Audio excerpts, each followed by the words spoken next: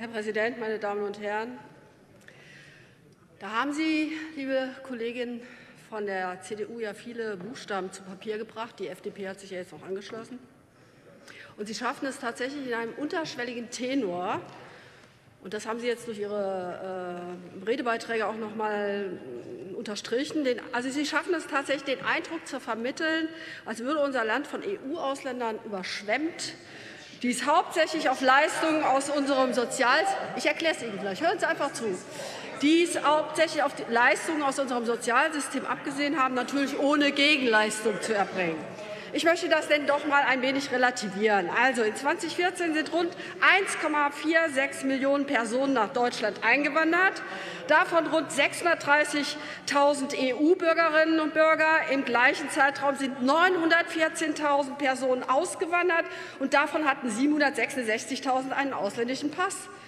Tatsächlich, der tatsächlich sogenannte Wanderungsüberschuss beträgt also 550.000 Personen, und darunter waren etwa 312.000 Bürgerinnen aus der Europäischen Union, nämlich Kroatien, Rumänien, Bulgarien, Italien, Spanien und Polen.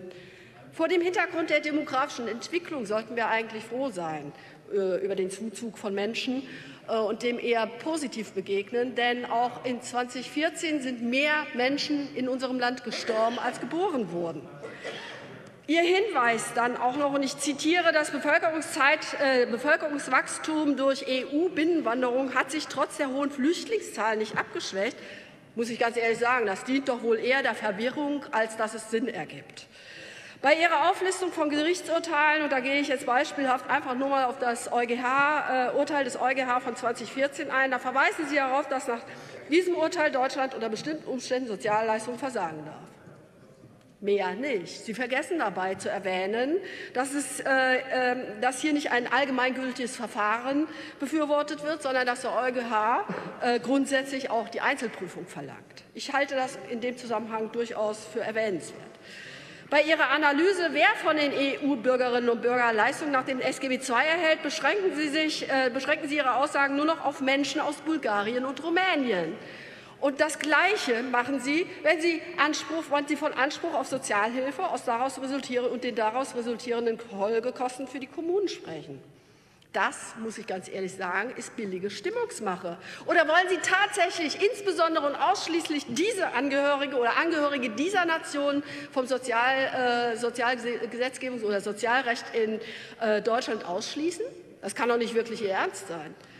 Der Antrag ist durchzogen von Unterstellungen, zum Beispiel, dass da Menschen kommen, die gar nicht arbeiten wollen, die in unser Sozialsystem einwandern wollen, also alles in allem recht dubios. Und Ihre indirekte Forderung, das Land solle die Sozialhilfekosten der Kommunen tragen, kann, ich, kann nur abgelehnt werden. Ich verweise allerdings auf die Maßnahmen des Landes zur Unterstützung der von Neuzuwanderung insbesondere aus Südosteuropa betroffenen Kommunen. Hierfür stellt das Land bereits erhebliche Mittel zur Förderung von Maßnahmen im Gesundheits-, Schul- und Sozialbereich zur Verfügung. Das blenden Sie offenbar sehr gerne aus. Schließlich wollen Sie dann den Landtag beschließen lassen, dass er zur Freizügigkeit von Arbeitnehmerinnen und Arbeitnehmern innerhalb der EU e e steht. Ganz ehrlich, dafür bedarf es kein, äh, keines Beschlusses. Das ist für uns eine Selbstverständlichkeit. Denn gerade in Zeiten wie diesen brauchen wir mehr und nicht weniger soziales Europa. Und dazu gehört auch, dass die europäische Freizügigkeit sozial flankiert wird.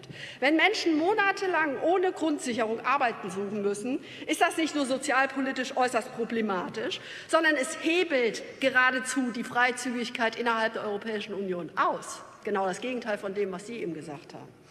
Überlegenswert wäre, dass nach einem Aufenthalt von drei Monaten auch Arbeitssuchende aus der EU Grundsicherung nach dem SGB II beantragen können. Nur so können auch diese Personen alle Integrationsinstrumente wie Beratung, Vermittlung, berufliche und sprachliche Qualifizierung in Anspruch nehmen. Maßnahmen, die allgemein als Basis für eine erfolgreiche langfristige Integration in den Arbeitsmarkt und damit auch in die Gesellschaft gewertet werden. Tatsächlich dürfen sie bereits Und da gebe ich Ihnen recht, tatsächlich dürfen die bereits heute überlasteten Kommunen, die die Sozialhilfeleistungen nach SGB XII zu tragen haben, nicht noch mehr belastet werden. Die Unionsbürger, die nach einem Jahr, äh, also nach einem Jahr den Kommunen sozusagen zuzuschieben, ist daher kontraproduktiv. Richtig, besser wäre es, wenn die Bundesregierung eine tragfähige Lösung im Rahmen des SGB II finden würde, die das würde sowohl den Menschen, innerhalb die, äh, die sich innerhalb der EU bewegen, wie auch den Kommunen helfen. Liebe Kolleginnen und Kollegen von der CDU und von der FDP, derart konstruktive Anträge oder ähm, Ansätze lassen Sie in Ihrem Antrag vermissen. Ihr Antrag der wirkt im Gegenteil eher destruktiv und vor allen Dingen diskriminierend. Und wir werden ihn deshalb ablehnen. Vielen Dank, Frau Kollegin. Wenn Sie so nett wären. Hallo, Frau Kollegin Roder-Schmiede. Stolpern, stolpern Sie nicht.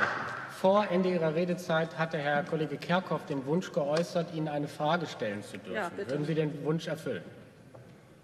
Kommen heute reichlich späten Fragen. Ne? Frau Kollegin, vielen Dank. Ich wollte erst bis zum Ende zuhören. Sie haben ja im Gegensatz zum Kollegen Gabrecht äh, sehr sachlich hier vorgetragen und haben sich solche Unverschämtheiten wie eben verkniffen.